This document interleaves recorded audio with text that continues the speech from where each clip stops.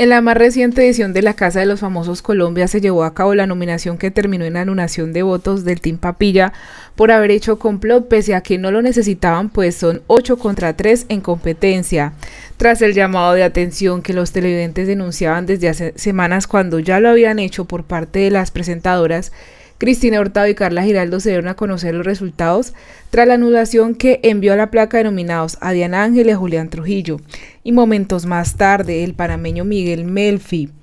por su cargo de líder de la semana, nominó a Sebastián González, así como se dio a conocer que los dos menos votados por el público fueron los creadores de contenido Camilo Pulgarín y Natalia Segura, más conocida como La Segura.